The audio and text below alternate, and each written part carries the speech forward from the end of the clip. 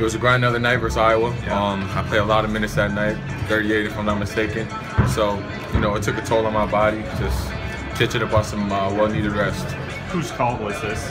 Um, it was a little bit of uh, everybody, you know what I'm saying? I, I had mentioned it to Vic and coach as well, and uh, you know, we just sat down and just said, you know, I thought it'd be best. I feel like, uh, you know, our guys are very focused to get this win, and um, you know, this is one of the games I can get a little bit of rest in. Uh, you haven't been shooting it great the last few games. Is not that you'd ever make an excuse, but is that playing a part? Just the hips? Uh, maybe, maybe. Um, I like you just said, man. I don't want to put an excuse on anything. Um, you know, uh, that one night that I had a really good shooting night, and we had talked and said maybe there's going to be some inconsistencies, and it's definitely showing right now. But it's just something you just got to keep fighting through, man. Can't make an excuse for anything. I guess the the worst case scenario, looking at it, is you're tired or you're sore in December after a three day turnaround. Are you worried about March, where the Big 12 tournament, you got potentially three games, or the NCAA tournament, where you got one day in between, and you'll have you know three more months of wear and tear on you. Yeah, that's that's always something you got to think about. You know what I'm saying? Because um, it's, a, it's a very realistic thing. But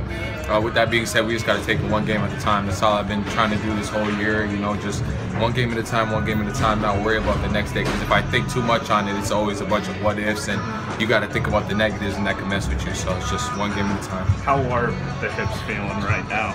Uh, you know, they're all right. Um, just just doing uh, rehab every day and you know, the same things I've been doing. You know, I'm just a little tired, or just a little bit weak, but this was all part of the process, right? In, so, in an average day, how much rehab time do you spend? I guess working on your hips or getting warmed up and all that stuff? Yeah, I mean, getting warmed up for things, you know, I'm there at least an hour and a half before, and then everything combined is at least like two hours, two and a half hours, you know, and then ice bath and, and uh, hot bath at, at, the end of the night, too. How much on court time will you have in practice this week? Is it just